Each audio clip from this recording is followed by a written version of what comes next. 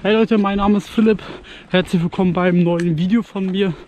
Ja, wie ihr seht, ich bin wieder unterwegs. Meine Winter-Tracking-Tour ähm, und somit, ja, willkommen beim neuen Abenteuer. Das wird somit Abstand die geilste Tour, die ich je gemacht habe, habe ich so das Gefühl, weil, schaut euch das mal an. Ziemlich geil.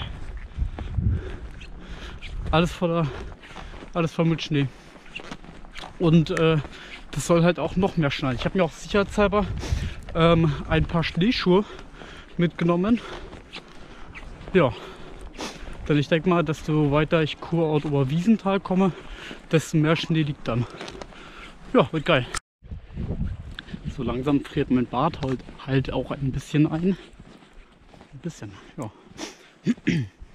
Ja, ich bin kurz vorm Kahleberg, glaube ich, heißt das. Und ja, ist schon mal eine feine Sache. Also übelst geil. Es ist alles total benebelt und äh, die Bäume sind richtig, ich sag mal, eingefroren. Guckt euch das mal an hier. Wie Eiskulturen. Einfach so grenzgenial. Atemberaubend schön. So, mir wurde eben von den Einheimischen gesagt, dass es heute Abend so wahrscheinlich Orkanböden gibt mit noch mehr Schnee. Also war doch ganz gut, dass ich die äh, Schneeschuhe mit eingepackt habe oder mitgenommen habe. ja, ich hoffe es. Ich hoffe es. So, und zusätzlich, ich versuche immer ähm, alle zwei Tage in einem Video zu packen. Ähm, ja, also heute Morgen ein Video und dann und mal so weiter. Genau, mal gucken, wie weit ich morgen komme. Hm, mal gespannt. So, ich habe die nächste Ortschaft oder Dorf erreicht, möchte ich mal meinen. Stehen ein paar kleine Häuser rum. Das hinten mal an. Das ist einfach alles, alles dicht. Das ist so ein schöner Fichtenwald da hinten. Und heilige Scheiße, das ist geil.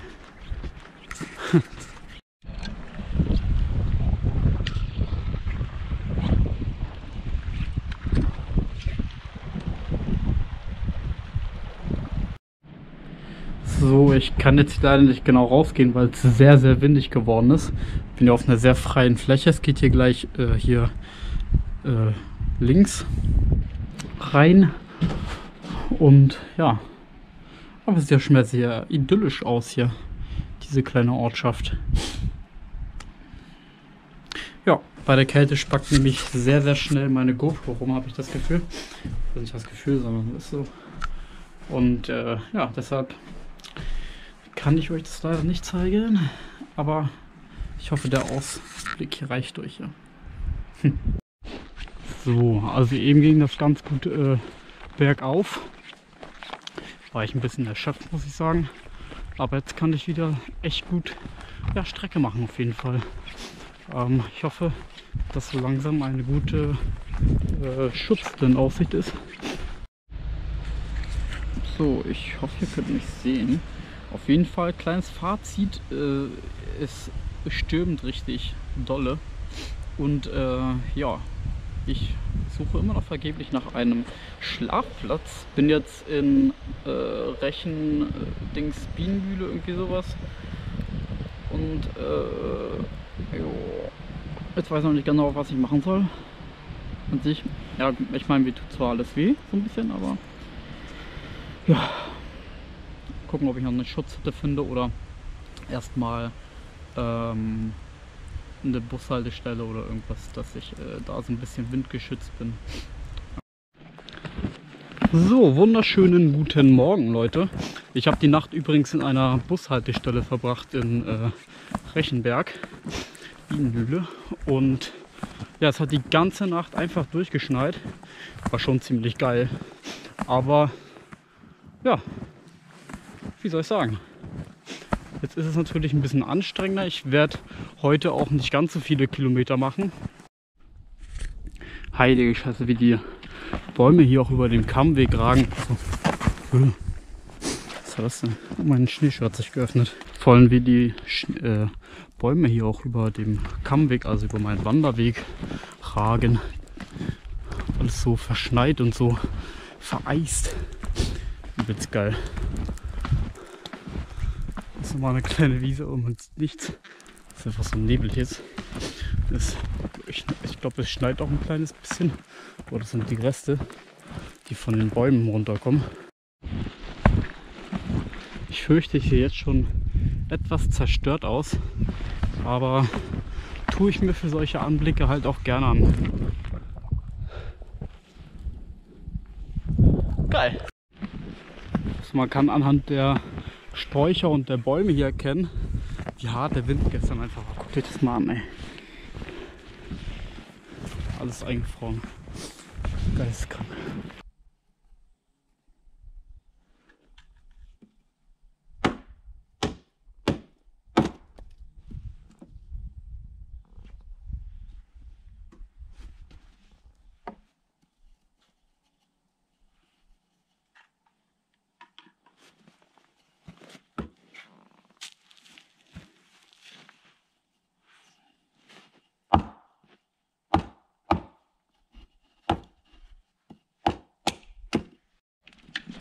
So, das Feuer brennt jetzt auf jeden Fall schon mal.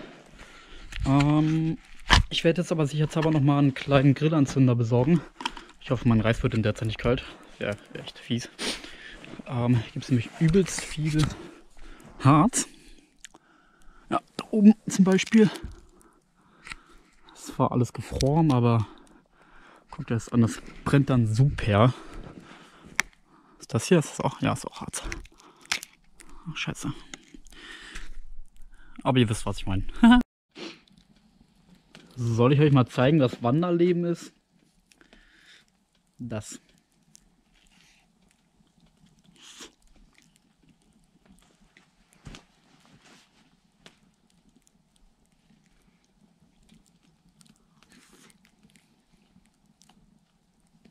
So, ich bin gerade dabei, ein bisschen Schnee zu schmelzen sollte man es vielleicht nicht machen, aber ich habe ehrlich gesagt keine andere Wahl, weil ich kaum noch äh, Trinkwasser habe.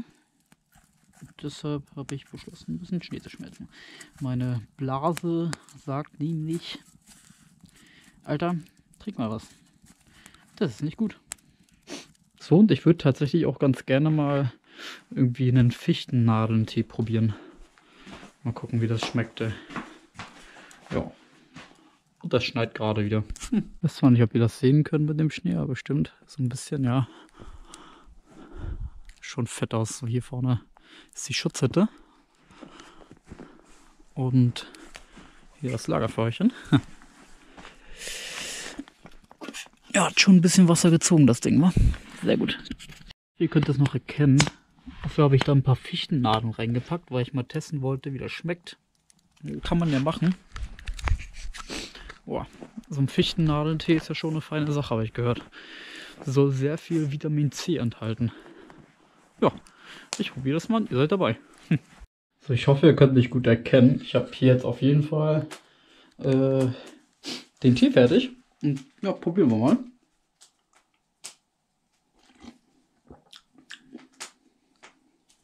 Ja, eine feine Sache. Schmeckt so ein bisschen nach geschlagene Fichte. Also wie bei einem Holzeinschlag und dann liegen da auf dem Haufen die ganzen Fichten rum. So schmeckt das. Also es schwimmt hier zwar noch anderer Kram drin rum, weiß nicht, ob ihr das seht. Aber ja, schon mal eine feine Sache.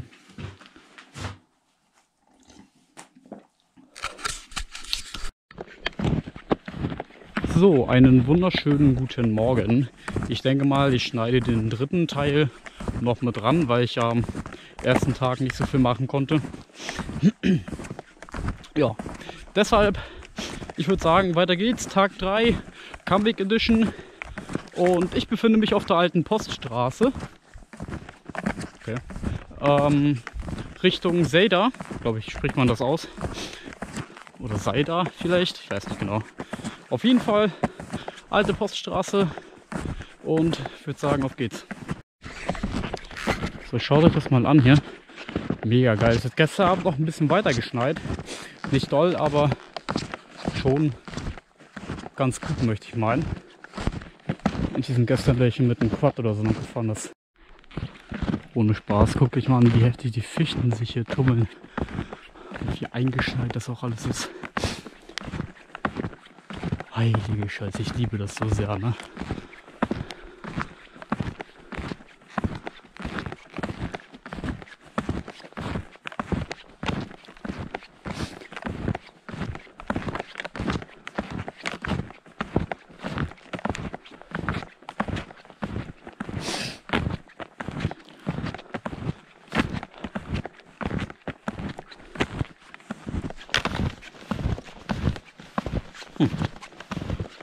Läuft doch.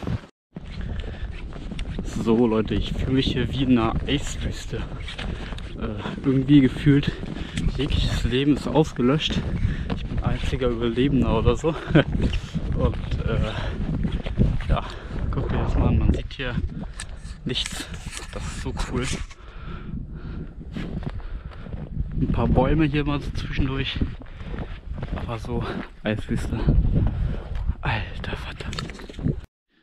So, ich bin wieder auf dem Kammweg zurück und ich habe hier eine unglaublich geile Aussicht, einen ziemlich coolen äh, Schlafplatz. Aber ich finde es noch ein bisschen früh. Aber für die Aussicht morgen, ich glaube, ich werde die pennen, Alter. Das ist so geil. Und die Schutzhütte ist auch nicht schlecht. Kann man sogar verschließen. Also was heißt verschließen? Kann man schließen halt ganz normal. Kann ich euch gleich nochmal zeigen. So, hier kam ich letztes Jahr lang. Ähm, eben bin ich von hier gekommen, weil ich halt noch in Seida war. Ganz komischer Name für einen Ort. Und jetzt die Aussicht. Obergeil. Wie geil ist das? Kommen wir irgendwo rauf? Ja, wa?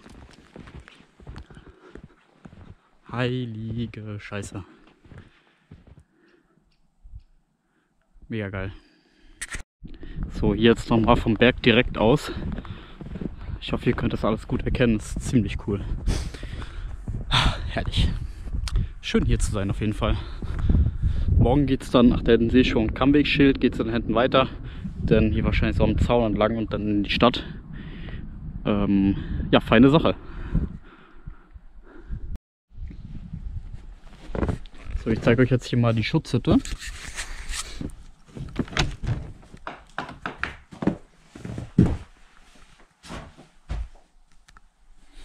Ja, reicht doch aus, oder? Möchte ich meinen. Auf jeden Fall es riecht zwar hier nach alten Menschen, aber ja gut, das soll's. Der Ausblick und das alles ist schon eine feine Sache. So, und schaut euch das mal an. Es hat sich hier schon wieder so schnell zugezogen. Ne? Unglaublich. Ich bin gerade dabei. Also ich bin gerade dabei, ein bisschen Feuerholz zu sammeln. Ich habe jetzt eben schon ein bisschen was aus dem Wald geholt.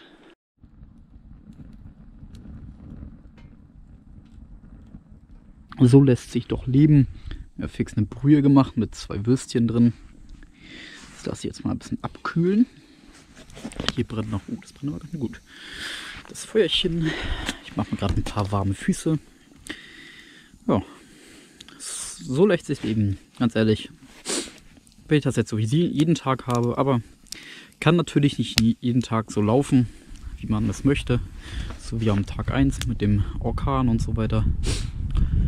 Naja, ich glaube, abends mal was Warmes oder was, also was Warmes zu trinken oder zu essen, beziehungsweise halt was Warmes zu trinken, ist halt schon sehr, sehr gut für die Seele beim Wandern. Man hat schon einen kleinen Motivationsschub, erst recht, wenn es halt so äh, kalt ist. Wir haben jetzt wie minus 3 oder minus 4 Grad nachts oder so.